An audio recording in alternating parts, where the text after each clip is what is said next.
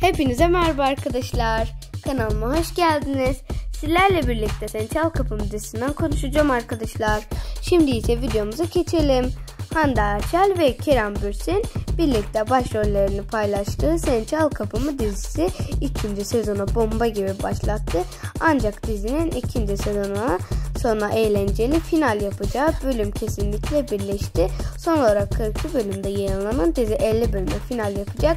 Yani geriye sadece 8 bölüm kaldı. Her iki oyuncunu da bir sonraki projeni başlatacak arkadaşlar. Şimdilik benden bu kadar. Sizler bilgi hakkında neler düşünüyorsunuz? Yorumlara yazın arkadaşlar. Anında en iyi videoların gelmesini istiyorsanız kanalıma abone olun ve yorum yapın arkadaşlar. Sizleri çok seviyorum. Kendinize iyi bakın arkadaşlar. Bay bay.